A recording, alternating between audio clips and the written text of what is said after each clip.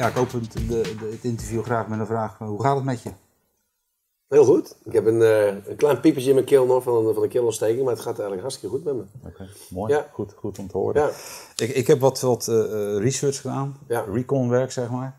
Eh, ik heb gekeken naar eh, ja, je achtergrond, wie ben je nou eigenlijk, waar kom je vandaan? Helmond geboren en getogen, 1973.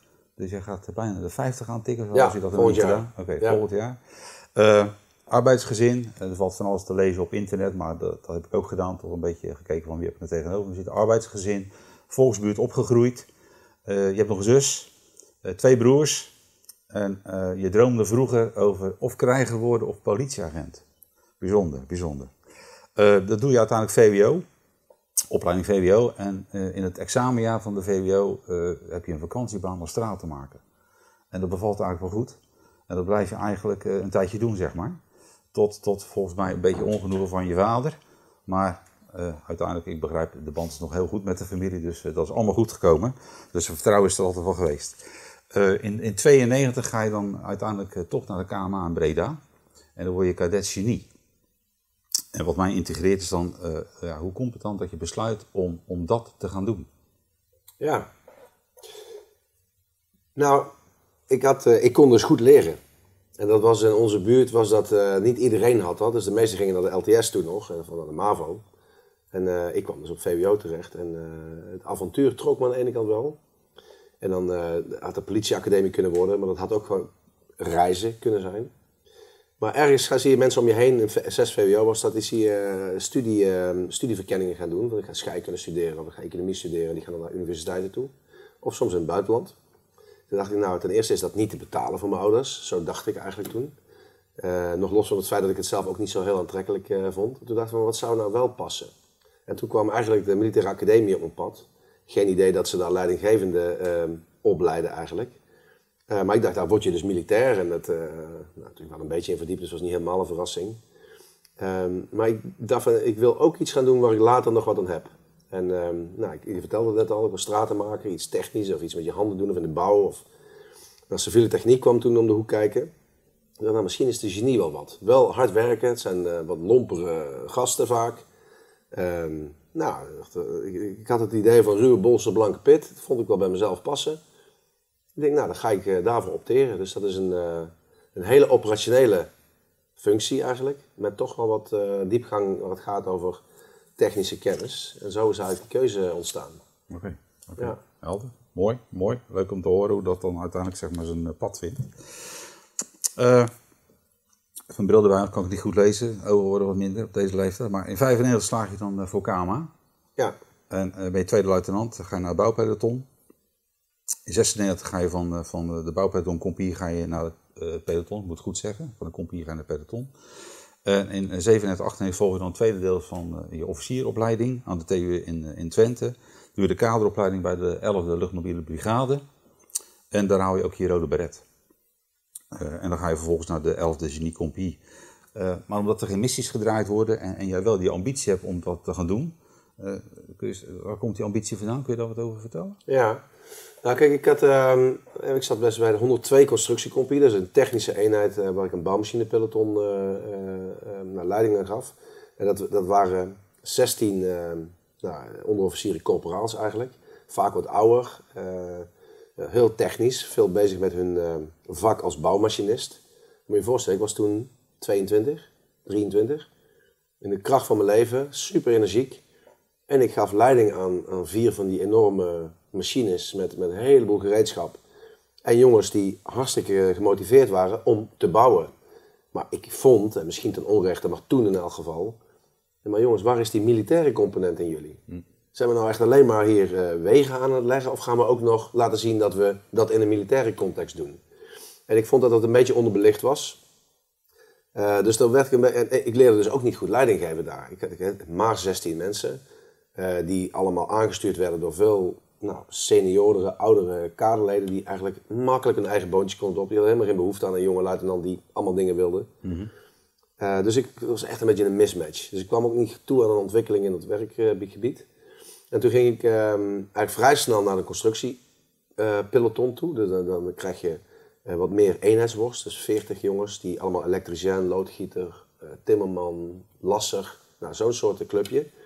We waren vaak wat jonger. Eh, er zat ook een meer een soort hiërarchische structuur in, met vier groepscommandanten. Dat snapte ik allemaal wat beter. En daar kon ik een beetje wennen aan hoe werkt dat nou. Dat je dus mensen iets vraagt. Ik had er nog niet zoveel verstand van uh, in die tijd. Maar met die club ging ik toen al op uitzending naar Bosnië. En dat was eigenlijk de eerste keer dat ik uh, met een samengesteld clubje de leiding had in, uh, Buzovaca toen. en we zijn toen naar Sisava en, en Vitesse geweest. Echt een hartstikke leuke club. Niet zo lange uitzendingen, anders bij elkaar denk ik twee maanden, drie maanden. Uh, maar toen dacht ik van, nou, dit is super. In een vreemd land met, met nou, nou, wel wat dreiging. In de zin van wat, wat mijnen die er lagen. En uh, dat is sowieso wat avontuurlijker dan, uh, dan het werk in Nederland. Dat vond ik hartstikke leuk. Daar ben ik heel enthousiast van. En op een gegeven moment is die functie klaar gaan aan de luchtmobiele brigade. En dacht van, nou, nu gaat het gebeuren. Ja. Nu heb ik die rode beret. Dit is een clubje wat eigenlijk heel licht uitgerust is. Met super gemotiveerde kerels die het wel leuk vonden om zeg maar, te vechten. Ja, tussen aanhalingstekens, maar in elk geval de militaire kant te benadrukken. Uh, nou, voor de duur van niet bang, uh, super gemotiveerd. Dus dat leiding geven, dat werd een stuk makkelijker. En ik, ik durf wel te zeggen dat ik daar echt wel begrepen heb van... oké, nu kan ik zelf ook een beetje ontwikkelen als, uh, als commandant. Om te zien van wat werkt nou wel, wat past bij me, wie ben ik nou eigenlijk. Uh, laat die missies maar komen. Ja, ja, ja. En die kwamen niet. Nee, precies. En die kwamen niet, niet het eerste jaar, die kwamen niet het tweede jaar. En ik dacht, nou dan zit ik bij zo'n eenheid en nu komt het niet. Ja. Ja, dit is echt niet, nee. niet mijn wereld. Ik, ik ben hier, en toen was ik dus al, want ik in de tussentijd nog even naar de KMA geweest, naar de universiteit. Ja. Ik dacht, ja jongens, is dit nou eh, wat het moet worden? Ja. Dus ik had een hele grote club met potentie. Maar ja, toevallig de pech dat ik eh, alleen maar met de oefeningen bezig was. En uh, ik was uh, adviseur van de, van de bataljonscommandant. Moet je je voorstellen, dan heb je je eigen peloton, die gaan dan buiten, die zijn aan het oefenen. Dus die, zitten, die doen de leuke dingen. En dan word je er zelf als, uh, nou, als baasje afgehaald, dus de rest gaat met de OPC mee. En ik ging dan met de uh, bataljonscommandant het in het een stafproces plannen, een genieadvies geven. Ja, 26 ja, jaar, nog steeds in de kracht van mijn leven. Ja. Dat kan er niet waar zijn. Dat je, dus het werd een soort van opgekropte energie die er niet uit mocht komen. Ja, dat was voor mij eigenlijk vrij snel duidelijk van ik moet wat anders gaan doen, want ik word hier doodongelukkig. Ja, helder, helder. En, dat, dat is eigenlijk ook zeg maar, de trigger om de switch te maken van de luchtmobiele brigade naar de korpscommando ja. feitelijk geweest. Ja, dat is daar gebeurd, ja. ja. ja, Dat, dat is natuurlijk wel, wel in dat proces, in die tijd is dat een bijzonder, bijzonder iets. Want, want je bent de genist bij de luchtmobiele brigade. En dan ga je feitelijk als, als infanterist bij de korpscommandotroep aan de slag. Ja. En, en dat, dat is één. Dat is op zich natuurlijk al bijzonder te noemen. Maar, maar je bent ook al officier op dat moment. Ja. En, en om daar dan aan te beginnen, uh, ja, ben ik wel benieuwd van, van hè, het is niet de standaard route. Kun je daar iets over vertellen? Hoe ging dat nu in zijn werk? Is dat ja. vanzelfsprekend? Eh, is dat heel makkelijk gegaan? Of? Nee, het zijn wel, daarna zijn er meer geweest die het zelf gedaan hebben. Ik was volgens mij de eerste. En je bent echt een vreemde eend in de bijt. Dus hè, hoe dat dan gaat, ik, ik wilde weg. Dus je moet een uh, request schrijven, zoals dat dan heet. Waarmee je eigenlijk zegt van ik wil geen genist meer zijn, maar ik wil infanterist worden. Dan bij de genie hadden ze toen de tijd tekorten. En bij de infanterie hadden ze overschot. Dus ik denk, ja, dat is eigenlijk gewoon een onbegonnen race. Want waarom zou de genie meer laten gaan? En daar hebben ze overschot. Ja. Want je wordt geen commando, je wordt infanterist. En daarna moet je eerst nog maar eens die commandoopleiding halen. Ja, ja. Maar ik heb wel een request geschreven. Ik heb gezegd, weet je, ik wil alleen maar commando worden. Ik wil geen um, officier bij de infanterie worden. Nou, dat, dat, dat, dat strijkt dus tegen de haren in bij veel mensen. Van, oh, daar hebben we er weer zo eentje. En toen dacht ik, ja, maar nu, nu ik die kans krijg, moet ik het ook waarmaken. Dus nog los van dat ik eh, nou, fysiek gewoon prima in orde was en dit echt wilde. En volgens mij is dat ook gewoon de sleutel om dit te halen. Als je het echt wilde, ben je bereid om daar uh, nou, een boel voor aan de kant te zetten en ja. pijn ervoor te leiden. Ja. En dan geef je niet op. Dus zo zat ik er echt wel in. En het was ook een soort van gezonde stok achter de deur. Van, ja, ik, ik kan het niet, niet halen. Weet je, wat, wat, wat gaat er dan met me gebeuren? Dan word ik ergens uh, geplaatst. Dan had ik waarschijnlijk Defensie verlaten. Ja, precies. Um, maar ja, dan, dan inderdaad, hè, de luchtmobiele brigade, de korpscommandotroepen, allemaal een beetje met een knipoog, maar dat is toch ook allemaal wat andere wereldjes zijn dat. Ik was dus officier daar, dus daar wordt ook naar gekeken. De KCT is van oudsher echt wel een onderofficierendomein. Uh, en officieren, ja, die komen er wel, maar die, en zeker in de tijd van net voordat ik daar kwam, ja, dat waren toch vaak passanten op zo'n uh, op zo'n eenheid. Dus er wordt een beetje met argusogen naar gekeken, hè, de officier. Ja. En ik had dat wel goed door. Ik dacht van, ik moet hier niet, ik, nou, ik ben sowieso niet zo, zo, ik ben niet de officier.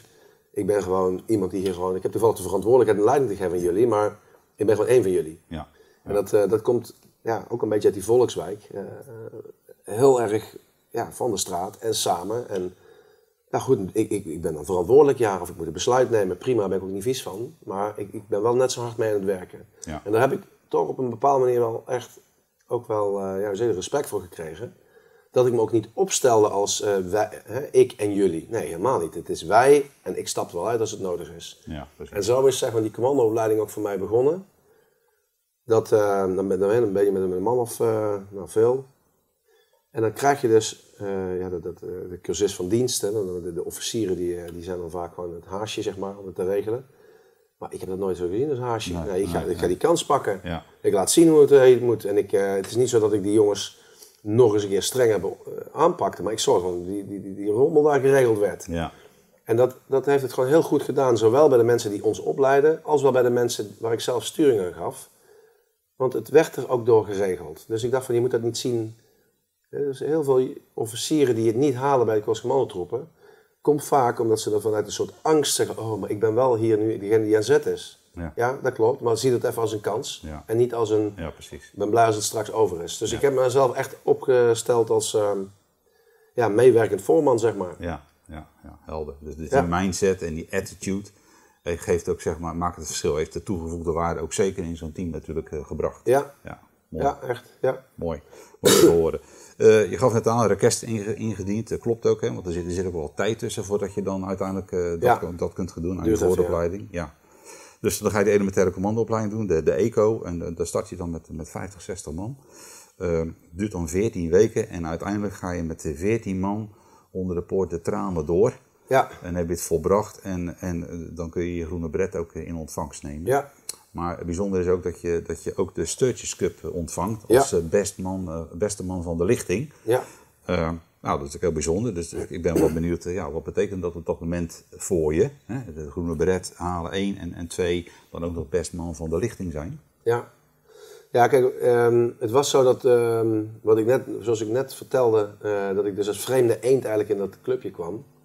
eh, heb ik eerst, ehm, want de jongens die eh, zeg maar, met mij commando zijn geworden, die kwamen eigenlijk allemaal in een spijkerbroek te. Er waren nog geen militairen. Dus er moest een militair voor gemaakt worden in de AMO, Algemene Militaire Opleiding. En ik was daar al. Dus ik, ga, ik, ik heb hun eigenlijk opgeleid, samen met wat andere mensen, tot eh, militair. Eh, onder toeziend oog van commando's die zeggen van, nou, kom maar helpen en laat maar zien wat je in macht hebt. Dus iedereen keek al een beetje met argusogen van, oh, die officier van de luchtbrigade. Maar ik dacht, ja, ik ga dit gewoon zo goed als ik, en zo kwaad als ik kan doen. Ik stel me ook heel erg bescheiden en ook onderdanig. Vanuit respect, hè, niet vanuit, v- vanuit gebrek aan zelfrespect, maar respect naar hen toe. En ik ga gewoon zorgen dat dit gewoon hele goede militairen worden. En dat heb ik ook zo gedaan in de vooropleiding. Die duurde bij ons toen acht weken. Nee, is niet waar, vier weken. En onze ECO die tijd duurde 14 weken. Dus ik denk dat wij in de vooropleiding begonnen met een man of 70. En dat we met een man of 45 aan de commandoopleiding begonnen. En uiteindelijk vallen er dus heel veel af. Ja. En dan blijven er 14 over. In dat hele traject hebben ze me dus al leren kennen als iemand die, die ze opgeleid heeft. En ehm, nou, ook, ik durf te zeggen dat ik eh, super authentiek was. Dus ik was niet anders naar het kader van de commando-opleidingseenheid. nee, ik bedoel, ja, natuurlijk, ik begrijp wat ik moet doen. En ik ben hartstikke eh, volgzaam. En, eh, maar ik kwam ook voor die gasten op.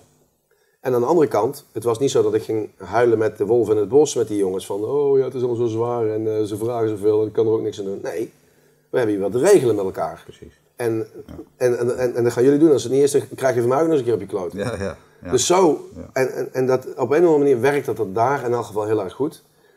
En dat gedrag, dat is uiteindelijk is dat ook, eh, want dat, zo'n steunskap heeft eigenlijk twee kanten. Aan de ene kant denk ik van, ja jeetje, gaan ze me nou echt hier ook nog eens een keer eruit halen? Voelt super ongemakkelijk, hè? Want je bent met elkaar iets gehaald. Ja, ja. En dan gaan ze eentje gaan ze dan in de, in de schijnwerpers zetten. ja. Dus nog los, ik kan niet ontkennen dat ik echt gigantisch trots was dat het gebeurde. Maar er zit ook een soort in van, ja, hoezo ik? En hoezo niet, eh nou, Maarten bijvoorbeeld, dat is een jongen die bij ons zat. Had het even zo goed, Ja. supergoed over, over, over, over Chris in die tijd, dat ik zelf. En die moet dat dan, bijvoorbeeld als team moet je dan aangeven. ehm, wie vind jij dat hier eigenlijk de, de best man eh, trofee zou verdienen, de Sturgis Cup? ja. Ik had volgens mij Chris opgeschreven, omdat ik gedrag zag, altijd humor. Eh, hoe zwart de sneeuw ook was, hij kon het relativeren. Eh, nooit de beroerte met ze doen, meedenken. Nou, dat zijn dingetjes voor mij waarvan ik zeg, en dat, dat maakt nou dat zo'n e- zo'n lichting ook zo leuk wordt. ja. En eh, nou, dat hebben dus zowel de jongens met wie ik dit gedaan heb, hebben dat gezegd, maar ook het kader wat ons opleidde, kwam dus tot de conclusie dat ik dat moest worden. En ik ja, dat zegt dus iets over draagvlak. Ja, precies. En dat- ja. Dat, dat, dat, laten we zeggen, toch ook wel wat harder optreden naar onze eigen mensen toe. En niet te bang zijn om het gesprek ook aan te gaan met de kaderleden. Dat heeft dus wel respect eh, afgedwongen, denk ik.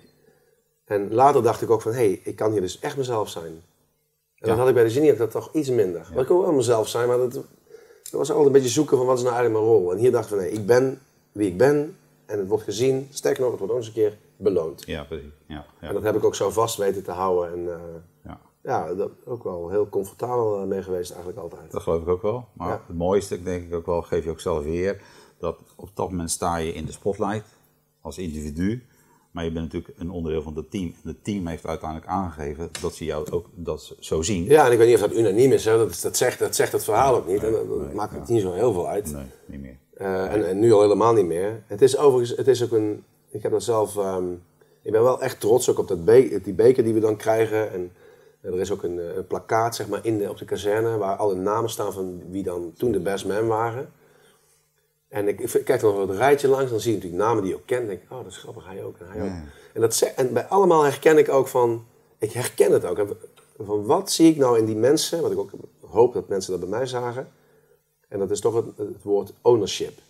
Weet je, je voelt je verantwoordelijk, maar meer dan dat, je neemt ook de verantwoordelijkheid. Je zorgt gewoon dat het, hè, sorry voor de woorden, maar dat de kutzooi gewoon geregeld wordt. Ja.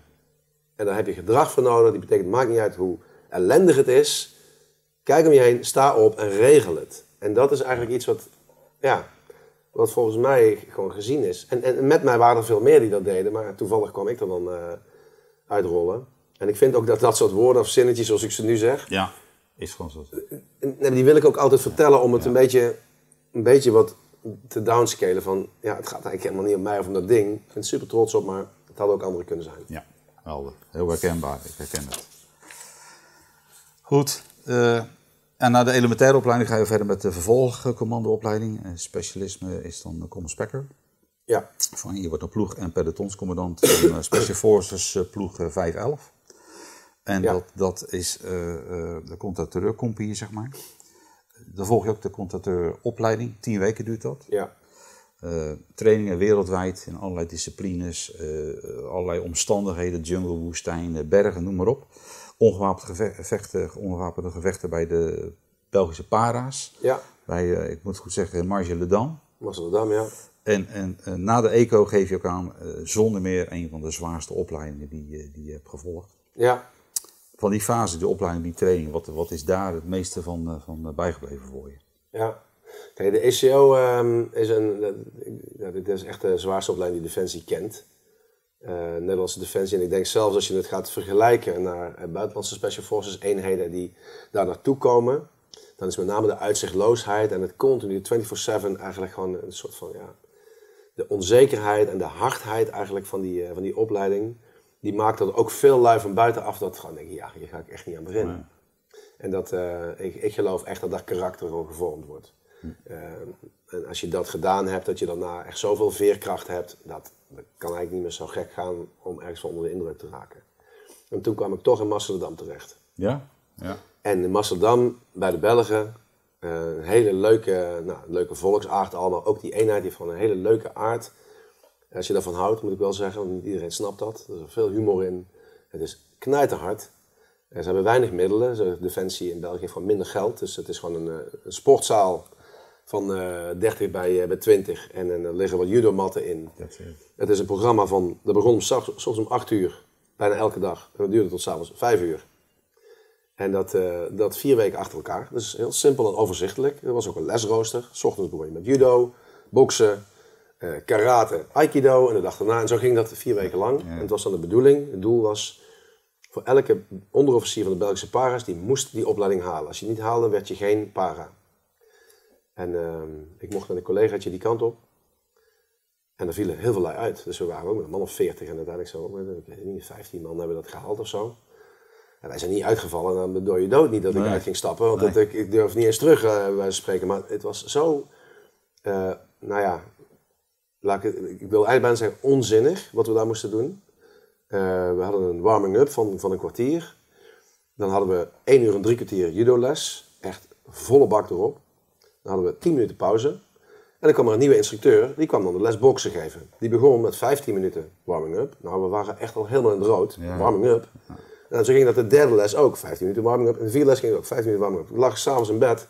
Eén bonk spierpijn natuurlijk. En de dag daarna hetzelfde. En dat ging gewoon elke dag eh, ging dat zo door. En op een gegeven moment moest je les gaan geven. Alles was in het Frans. Nou, dan spreek ik een beetje Frans, maar lesgeven in het Frans is echt wat anders.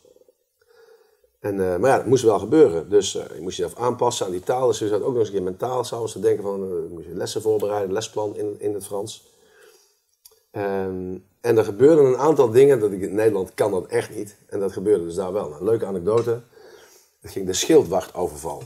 Dus we kregen op een gegeven moment, eh, dit was een les ongewapend vechten 4 of zo. En dan pikten ze daar een jongen uit en die moest dan eh, het Frans of het Belgische volkslied eh, zingen in, in de houding. En dan kwam die, die instructeur, die kwam van achteren besluipen. En hij had hij zo'n soort nepmes bij. Dan stak hij hem dus in zijn, in zijn nieren. Hij zegt normaal gesproken steek met de nieren, want het is een hele eh, rijk doorbloede omgeving. Doet enorm veel pijn, dus je wil niet dat hij schreeuwt. Dus je moet zijn stembanden uitschakelen.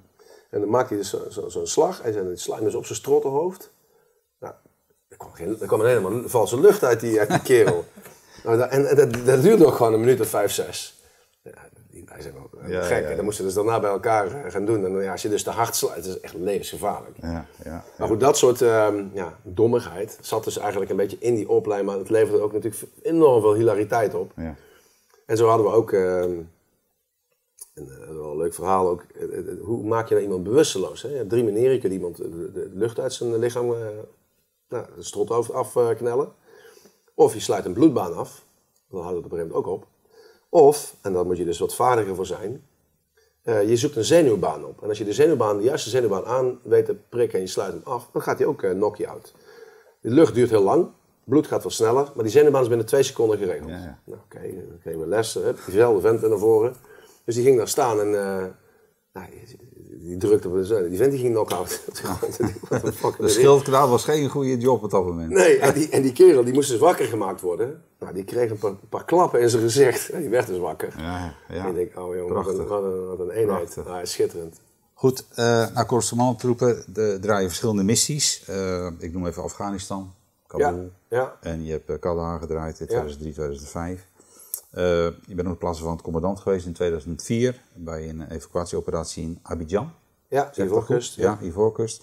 In 2006 heb je bij Route Libanon heb je een evacuatieoperatie Ja. voorbereid.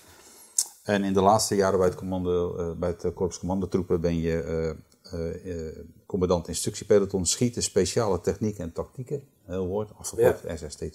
Ja, Dan geef je leiding aan de sniper, eh, eh, instructiegroep demolitie, instructiegroep en inspecteurgroep contra-terreur. ja, Een mond vol. Prachtig allemaal natuurlijk als je Ja. dat zo leest. Eh, Zeker eh, voor iemand van jouw statuur en achtergrond. En dan doe je dat allemaal. Maar dan ga je toch in 2009 verlaat je, verlaat je als je kapitein Defensie. ja. En eh, ja, dat, dat tekent natuurlijk wel, dat integreert wel van, oh ja, wat heeft je nou doen besluiten om te stoppen bij correspondenttroep en bij Defensie. Eh, als je kijkt naar de situatie op dat moment, wat je allemaal mocht en kon eh, en wilde Ja. doen, zeg maar. Ja. Nou, het is zo dat eh, toen was uh, kolonel Vollaert was uh, korpscommandant. En ehm, nou, het ging goed met me. Ik had ook de juiste papieren om zeg maar gewoon nou, door te groeien tot, nou, in principe lagen alle paden open. En dan krijg je de, de ronde om kompiescommandant te worden. Hè? Dus de, de, de, ja, de commandant van de eenheden 104, 105, 108 en 103 in die tijd. En dat was voor mij gewoon echt de volgende stap, een droom. eh, leiding geven aan jonge SF-ploegen. Of aan SF-ploegen. Ja. En, eh, maar het gebeurde er in een privésituatie. Ik, eh, ik ging scheiden. Eh, ik heb een nieuwe relatie gekregen. Ehm, haar man was overleden. De kinderen hadden- waren dus half wees. Ehm, en ik was echt veel weg in die tijd. Niet alleen met uitzendingen, maar met name de trainingen en de oefeningen. Ook bij, bij SNSTT, zoals die eenheid heet. Hè, van de, die terreuropleidingen. Dan zat je gewoon een maand in Amerika, kwam je Ja. terug en dan was je alleen maar bezig Ja. met oefenen en trainen. Veel, ja, veel onregelmatigheid, maar ook gewoon veel niet thuis. En dacht ik, ja, dit past gewoon niet. Want die scheiding is er niet voor niks geweest. Ik heb eh, mijn kinderen toch nou, heel weinig eh, gezien. Ik werd wat ouder. En toen dacht ik van, nou, als ik, als ik al zou willen switchen, dan is het wel nu. Eh, maar dat betekent dus dat ik niet die baan van kompiescommandant eh kan gaan doen. Ehm, toen is me nog aangeboden om commandant van de opleidingseenheid te worden. Ik dacht, ja, als ik hier nu al aan begin, dan... ik wil niet iemand worden waar naar gekeken wordt van, oh ja, Die heeft toen de keuze moeten maken voor privé, wat overigens hartstikke prima is. Maar ik voelde dat toen, dat wil ik niet. Dus toen had ik een keuze van, oké, dit is zo'n kantelpunt in mijn carrière. Ik vind het hele operationele vind fantastisch. Dus ik ben graag in het buitenland. Ik wil toe doen. Ik wil speciale operaties draaien. Ik wil toch meer voor thuis zijn. En eh, ik ben wel best wel groen. Hè? Dus in, in mijn denken. Ik bedoel, als, als ik filmpjes van mezelf van toen terugzie en ik zie dat nu, dan is er wel wat gebeurd daarna. Ik, ik, mijn leven was gewoon defensie. Ik dacht dat alles ook om die defensie draait. Mijn vrienden zaten bij defensie. Uh, ik denk, als ik dan uitstap, dan moet ik ook weg bij, bij, uh, bij het ministerie van Defensie. Maar waar vind ik dat dan? toen ben ik dus gaan kijken naar de AIVD. Uh, dat valt onder Binnenlandse Zaken. Dat waren politieke dossiers. Dat ging ook over contraterreur, maar dan met name informatie inwinnen op jihadisme, radicalisering. Dat was toen helemaal, dat kwam toen eigenlijk helemaal op. En toen dacht ik, dat is best interessant, maar wat is dan nou... Ik heb geen zin om in een kantoor te zitten in een soort ambtelijke omgeving. Doen zij ook iets buiten? En toen had ik een collega die bij het Korps vandaan kwam en die is daar toen naartoe gegaan. Die zegt, nou, er is hier echt heel veel. En uh, ik ben toen uh, richting uh, ja, case officer heet dat dan. Dus dat je relaties aangaat met mensen in het buitenland. Om nou, informatie in te winnen, het vertrouwen te winnen, om een relatie te onderhouden. En om dat op een veilige manier te doen. Ja. Ehm, met als aandachtsgebied in eerste instantie zeg maar, de regio Midden-Oosten, om het er niet te specifiek te maken. En gigantisch veel geleerd, met name over mezelf weer. Dus dat hele ontwikkeltraject wat ik toen had als jonge officier, kreeg ik nu eigenlijk als ja, inlichtingofficier. Ja. Ik denk, ja, ik weet me prima te verhouden tot de sergeant, tot de soldaat en tot de generaal. Maar nu moet ik het tot de professor of iemand die, uh, die in het theater werkt. Of mensen die, um, nou, jonge gastjes op de hoek van de straat die, die iets weten. Nou, dat werkt toch anders. Dus um, ik heb mezelf daar wel echt opnieuw in moeten ontdekken. Ja. En dat is heel leuk geweest. Ik uh, heb er gigantisch veel van geleerd. En mijn blik is verbreed. Ook achtergekomen waar ik helemaal niet goed in ben. Uh, waar ik helemaal niet prettig bij voel, wat ik vooral nooit meer wil. Uh, bij welke soort mensen ik heel makkelijk een, een, een, verbinding en vertrouwen op kan zoeken. En bij wie ik dat eigenlijk moeilijk voor elkaar krijg. Ook door mijn uiterlijk. Ik bedoel, niet iedereen houdt van uh, een kale kop en dit. Dus ik ging brilletjes dragen, haren laten groeien. Ja. Ik denk, ja, wat ben ik nou aan het doen? Dat past helemaal niet bij me nou ja, als ik het samenvat, mag samenvatten, dan heb je eigenlijk de, de sterkte-zwakke analyse voor jezelf uh, kunnen maken. Ja. Maar het heeft je zeker in die periode ook, ook veel verbreding en verdieping gegeven in, in wie, je, uh, wie je bent, wat je hebt gedaan en, en, met name ook zeg maar, ja, wat je zou willen doen richting de toekomst. Ja. Ja, ik denk dat als ik, als ik kijk bij het KST, hè, we hadden het over vorming, daar is mijn karakter wel gevormd van waarom doe je de dingen zoals je ze doet. En als ik ga kijken naar die tijd buiten Defensie, dan is het met name zeg maar, sociaal en communicatief heb ik daar ja, ook gewoon beter leren begrijpen van wat mensen drijft. Of dat niet iedereen is zoals een militair. Niet iedereen vindt het leuk om wat een militair vaak leuk mhm. vindt. Of, en dat je dus op een gegeven moment probeert te begrijpen in, uh, nou, dat, dat het ook van alles van mezelf zegt als ik daar een mening over heb. En dat die mening die ik heb over een wetenschapper, omdat hij, nou, of over een jongen op de straat die toevallig geen werk heeft, of nou, het maakt niet zoveel uit wat, uh, maar dat het eigenlijk voor de helft ook alles voor mij zegt. Ja. En als ik me wil verdiepen in de ander of een relatie aan wil gaan of een vertrouwen wil wekken, moet ik dat in ieder geval oordeelvrij doen en mezelf echt proberen te verbinden met iemand. Dus andere vragen stellen, in plaats van dat je dus een, uh, ja, sneller een oordeel hebt. Ja. Dat heb ik echt af moeten leren en dan, dan zie je in één keer dat er dus ook andere dingen gebeuren. Ja, mooi. Ja. Mooi.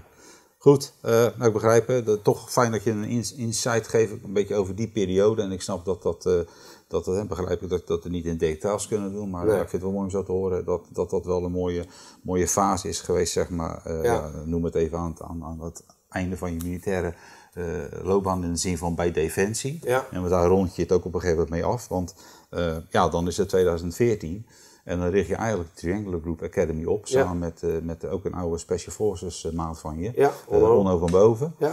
En ja, die onderneming waar jullie zeg maar, de expertise in Intelligence Academy samenvoegen in de praktijk. Ja. En samenwerken met oud-militairen, ja. oud-SF-maten neem ik ook aan, oud-militairen en oud-politieagenten. Ja. En jullie doel is, als ik het, eh, als ik het mag, mag verwoorden op deze manier, onze eigen overheid weerbaarder maken en door deze overheid te helpen met het verzorgen van onze opleidingen. Ja. En daar gaan jullie altijd voor de 100% oplossing. Ja. Nou, dat lijkt me een, een, hele goede drijf om dat, om dat te willen, zeg maar. Uh, Ik, ik heb wat gelezen in een podcast, uh, Ekke Verhalen, dat is wel grappig, paradijsvogels en buitenbeentjes. En, en dat, heeft hij op een gegeven moment over, over dat hij een elite paupermeter gebruikt. En uh, daar heb je zelf voor mij nu ervaring mee, omdat je aan die podcast hebt meegewerkt. Wat, wat is het nou precies? Hoe werkt dat? Wat brengt het? Ja, want hij, uh, heel grappig, um, hij interviewt dus mensen, uh, niet zo, hij is dus helemaal niet naar me toe gekomen omdat ik toevallig in een tv-programma uh, zeg maar op, het, op de buis kwam. Hij was gewoon geïnteresseerd in het verhaal achter nou, het gezicht, zeg maar. En uh, hij kiest dus eigenlijk altijd mensen uit waarvan hij denkt van dit zijn in ieder geval mensen die een ander pad bewandeld hebben in hun leven dan wat de meeste mensen doen. Dus er zit ook een verhaal achter die keuzes. en hij heeft het dan over nozems en over buitenbeentjes, vrijbuiters, paradijsvogels en zo heeft hij er een aantal. En hij is dan gewoon benieuwd van welke categorie val je eigenlijk? En toen dacht ik van, nou, weet je, dat, het feit dat je bij mij komt en jij bij mij de stempel opplakt dat ik iets in dat rijtje zou zijn, uh, dat is wel een aanname. Want ik ben eigenlijk, uh, ik heb ook gewoon kinderen. Uh, ik woon gewoon in een, in een, in een wijk, waar helemaal een net tuintje en alles is gewoon hartstikke burgerlijk eigenlijk. Ja. Mijn achtergrond vertelt iets anders. Maar dat is bij veel militairen, die hebben gewoon normale dingen. Maar van binnen, en dat had ik toch goed gezien, zit er wel iets van een vuurtje van... Uh, en ik heb ook gezegd, zou liever die nozem willen zijn. Met mijn lange haren, die ik natuurlijk helemaal niet heb. Op een motor uh, door Roemenië rijden. En uh, alleen maar in een tentje slaan, vuur maken. En, nou, weet ik veel. Een goede fles whisky mee, zoiets. Ja. Maar ik ben het niet en ik heb het ook nog nooit gedaan. Maar ik kan er wel over dromen. En daar hebben wij eigenlijk een heel gesprek over gehad van... wat is dat nou dat je aan de ene kant zeg maar iets nou, over droomt. En aan de andere kant dat niet doet. Daarvan, er zat wel iets voor in de plek. Want als ik zie, bijvoorbeeld wat ik met deze onderneming doe, maar ook wat ik in het verleden gedaan heb, ik heb wel op hele bijzondere plekken gezeten. Maar altijd professioneel. Het is niet dus dat ik. Ik ben niet iemand die nu naar Oekraïne gaat reizen, omdat ik denk, oh, dat moet nu geholpen worden. Dat zou ik niet zo verstandig vinden. Nee, nee. Um, en ik, ik haal dus eigenlijk die, die, die, die energie, die, uh, ja, laten we zeggen, datgene wat mij dan een beetje de, de, glimlach op mijn gezicht brengt in het leven, die haal ik dus uit, uit werkdingen.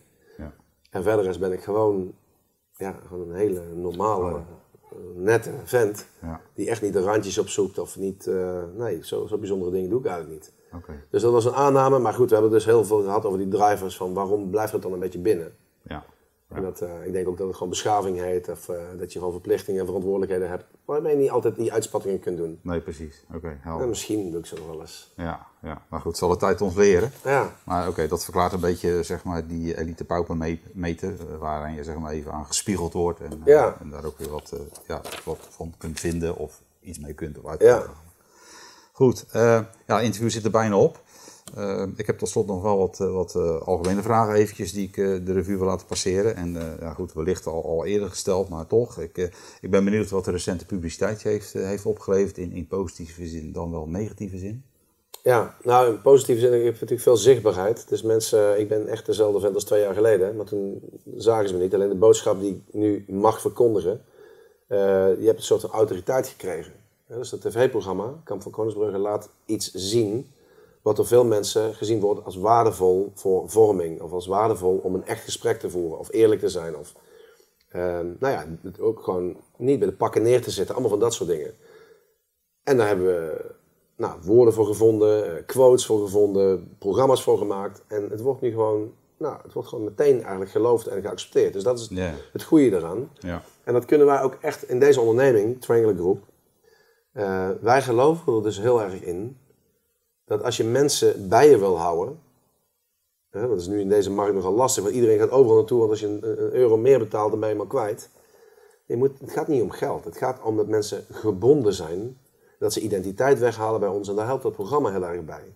Hè, je bent wat je zegt en uh, je bent wat je doet. Mm -hmm. uh, en dat we dus mensen ook verantwoordelijk voor houden, maar dat we ze ook iets bieden wat veel verder gaat dan alleen maar het salaris. Identiteit. Ja. Uh, dat je trots kunt zijn op waar je werkt. Uh, dat ze zich kunnen vereenzelvigen met ons. En zo'n tv-programma helpt er heel erg bij. Zij kunnen ook praten over, ja, ik werk bij die gasten die we kan van Koningsbrugge. Nou, dat is alleen maar tv. Maar in het echt doen we dit en dit en dit allemaal. En zo is onze sfeer. Ja. Ja, er is helemaal geen 8 tot 5 werkmentaliteit. Je komt hier, nou, je hebt het net gezien. Mensen die komen hier om dingen te doen. Ja. Uh, en we rekenen ze dus ook, we rekenen niet af, maar we houden ze verantwoordelijk voor de dingen die ze doen. En niet of ze van 8 tot 5 gewerkt hebben of dat ze, weet je, dat is echt je eigen ding. Precies. En dat is ook wel wat Defensie eigen. Dat is het doel. En hoe je er komt is aan jou. Dit zijn de afspraken waarop basis waarvan we dat gaan doen. Ja. Ja, en die volwassen manier van, eh, zeg maar, ja, van kijken naar werk, eh, dat is iets wat heel erg bij ons past. En waar we nu ook, ja, door het tv-programma, eh, dat kunnen we ook ventileren. ja. Als afsluiting, eh, Ray, wat zou je eh, de veteranen zeg maar, eh, in de zaal nog, nog mee willen geven als afsluiter? Ja, en er komt meteen iets binnen en ik krijg ook kippenvel, je kunt het niet zien. Maar weet je wat ik ze mee wil geven? En dat zijn echt niet de dooddoeners van jullie hebben wat betekend voor het land, want dat is allemaal ook zo. Maar ik ben nu zelf bijna 50 en als ik nu terugkijk, zeg maar, jij bent echt een generatie verder dan ik. En die mensen die nu, mijn zoon zit nu, zit, zit nu bij Defensie. Ik vind, veteranen is echt een soort, ehm, eh, de beeldspraak voor dat je op schouders van reuzen kunt staan. Doordat zij gedaan hebben wat ze gedaan hebben, soms met een traan, soms met een lach, soms met echt eh, een boel ellende en soms met een hele mooie herinnering. Maar doordat ze gedaan hebben wat ze gedaan hebben, kan de volgende generatie kan erop bouwen. Dus we worden als land steeds sterker en beter doordat die veteranen die pijn toen genomen hebben. Dus je kunt eh, alleen maar groeien, beter worden als de voorganger van jou iets bereikt en gepresteerd heeft. Dus je hebt zelf Libanon gedaan. Eh, dan heb je de mensen die in Bosnië en Srebrenica gezeten hebben daarna. Dan krijg je er vervolgens de uitzendingen in Irak en Afghanistan. En dan vergeet er nog een heleboel. Maar de kwaliteit die ze nu inmiddels op de mat leggen in de operaties die er nu zijn. Libanon is daar echt een, een stap in geweest. Ook bijvoorbeeld de, de ontwikkeling van de geestelijke, of niet de geestelijke, maar de, de mentale gezondheidszorg. Hè, de DCBMW. Het, eh, de- dus waar je terecht komt met die psychische klachten. Er zijn een boel jongens en, eh, en dames, weet ik niet zeker, maar eh, ongetwijfeld ook.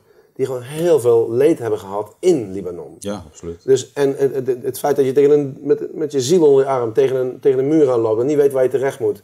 Jongens die uiteindelijk maar in het slechtste geval zelfs besluiten om er een eind aan te maken. En Srebrenica, vreselijke verhalen. Mensen die met de pijn zitten, eh, het onbegrip, de machteloosheid, het, over, het uitgekotst worden door de natie. Waar waar zo'n systeem dat er probeert te helpen door kan groeien. Wel door het feit dat dat gebeurd is. In Afghanistan nu, het is gewoon gigantisch goed voor elkaar bij Defensie.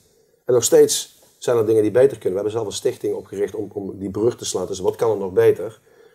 Maar het is wel dat, dat hier mensen pijn pakken. En ik wil nou, daar dank je wel voor zeggen, eh, naar iedereen. Eh, en ook met name, laat trots altijd winnen van pijn, schuld en schaamte. Want dat is wel wat het, eh, wat het, wat het mag zijn voor mij. En eh, ja, wij staan met z'n allen op schouders van reuzen. Oké, mooi. Hele mooie woorden, hele mooie woorden om dit interview mee te beëindigen. Ik wil je van harte bedanken, Ray, voor de tijd. Zeker, Peter. En, Thanks. en de, het welkom zijn hier zo. Eh, ik weet zeker dat, dat de veteranen dit erg gaan waarderen. En, en nogmaals bedankt. Heel veel succes in de toekomst met je bedrijf en, en jij als persoon. Ja. En, en we komen elkaar vast nog een ergens Zeker, leuk. Top. Dankjewel ervoor. Dankjewel. Ja, super.